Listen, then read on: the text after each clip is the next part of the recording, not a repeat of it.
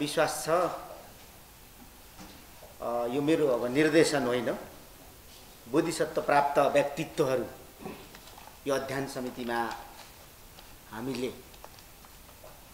सिफारिस गरेका छौँ। त्यसमा नेतृत्व डाक्टर जगमान गुरुङ आदरणीय व्यक्तित्वले गर्नुभएको छ।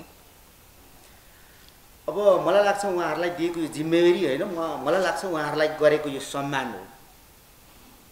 उहाँहरूको ज्ञानको सम्मान हो। यो अहिलेको राष्ट्रको आवश्यकता हो। आधुनिक नेपालको सभ्यताको प्रारम्भ यहीँबाट हुन्छ जस्तो मलाई लाग्छ।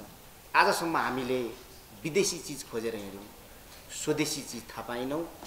हाम्रो मान्यताहरूलाई मूल्यहरूलाई सोचहरूलाई शैलीहरूलाई स्थानीयकरण हामीले गर्नै सकेनौँ। त्यस कारणले अघि उहाँले एउटा शब्द प्रयोग गर्नुभएको छ कस्तुरी। त्यस कारणले पो भयौँ कि अब पशुपति हिन्दू विश्वविद्यालय विश्वभरि बुद्धिजीवी उत्पादन गर्ने उद्देश्य त सोझै छँदैछ। र सांस्कृतिक कूटनीतिलाई अझ सशक्त बनाउने एउटा यो माध्यम पनि हो।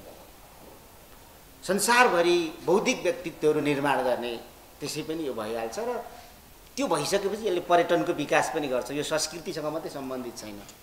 पर्यटन पनि छ। पर्यटन व्यापक रूपमा भएपछि आर्थिक विकास पनि छ। यी सबै कुरा जोडिएको छ। आज उहाँले धेरै कुरा छोटो समयमा एकदमै गहिरो कुरा भन्नुभएको छ।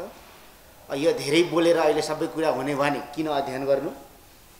सबै कुरा अध्ययनबाट आउनेछ त्यसमा हामी विश्वास गरौँ र छिटोभन्दा छिटो समय अवधिभित्र उहाँहरूले जसरी प्रतिबद्ध गर्नुभएको छ त्यो समयभित्र हामी प्रतिवेदन प्राप्त गर्नेछौँ। दुई हजार असी सालको मङ्सिर महिनाभरमा त्यो प्रतिवेदन बुझाउँछौँ र दुई हजार एकासी सालको वैशाख एक गते श्री पशुपति हिन्दू विश्वविद्यालय स्थापनाको घोषणा त्यो सरकारले गर्नुपर्छ। प्रतिवेदन हामीले चाहिँ मङ्सिर महिनाभित्रमा बुझाउँछौँ। त्यसपछि फेरि चार पाँच महिना त लाग्यो। र अब हाम्रो भगवान् श्री पशुपतिनाथ भनेको सर्वधर्म समभाव हो त्यो हिन्दूको मात्रै होइन त्यो बौद्धको पनि। त्यसको बारेमा पनि कुनै बेला चर्चा गरौँला र दुई हजार एकासी सालको वैशाख एक गते श्री पशुपति विश्व हिन्दू विश्वविद्यालयको स्थापना गर्ने घोषणा माननीय मन्त्री सुदन किरारीज्यूको अब मुखार बिन्द भनौँ भने सामन्ती भाषा हुन्छ। मुखार बिन्द भनौँ भएन। उहाँको चाहिँ नि वचनबाट वचनबाट अब त्यो विश्व के अरे श्री पशुपति हिन्दू विश्वविद्यालय स्थापना गर्ने लक्ष्य हामीले राखेका छौँ। र आज यति भन्छु। अब यसको चाहिँ कार्यविधि इत्यादि आयन नियम सिनेटका कुराहरू इत्यादि होला। यो चाहिँ राम्रो कार्य हो। त्यो राम्रो कार्यमा यो पक्ष विपक्षको कुरा भन्न हुँदैन।